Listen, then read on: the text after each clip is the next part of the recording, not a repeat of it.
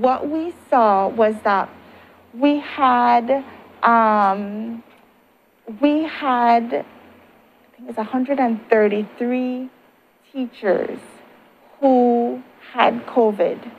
It, it worked out to about 14%, one four Yeah. percent of the teachers who were already engaged in hybrid learning, which means that they had students coming in and out. Yeah. They were at school um, where there, there were COVID cases that were trapped. With students, we had about 7,000 students engaged in hybrid learning at that time. And it was like 145 students. So the, the COVID rate among the students was 2%. One, two. Oh. All right?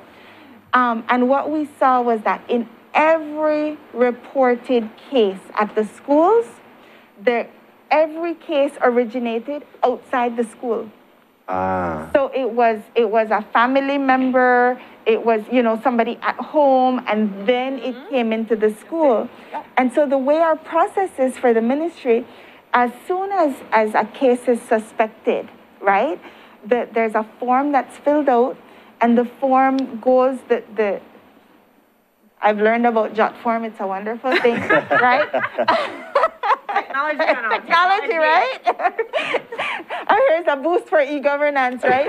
it's wonderful. Um, no, but the, the way the form works is when, when the, the principal whoever fills it out and submits it, it goes directly to Ministry of Education, it goes to Ministry of Health, and it goes to the proprietor, so the manager, managing authority, whoever. So everyone who needs to get it gets it.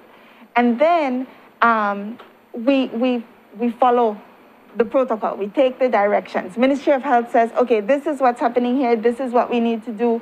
Um, and they make different recommendations. Maybe they'll say, okay, you're the teacher who has COVID and you were in contact with this class. This entire class needs to go on remote learning or distance learning for two weeks. Okay.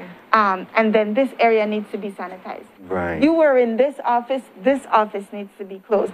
It's not necessarily, this is what we learned over the past um, few months, is that it's not necessarily that the entire school would need to be closed.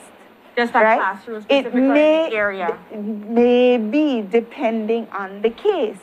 Because what we've seen is that in the few months of working with this process, that it's not been in school transmission. We've seen that within the schools that the teachers and the principals, the, the school, the faculty and staff have been really good about following the protocols that are set.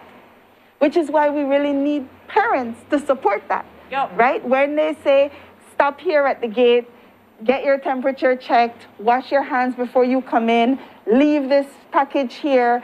You know, we, we need everyone to follow those protocols because that's the way that we're going to be able to go back safely.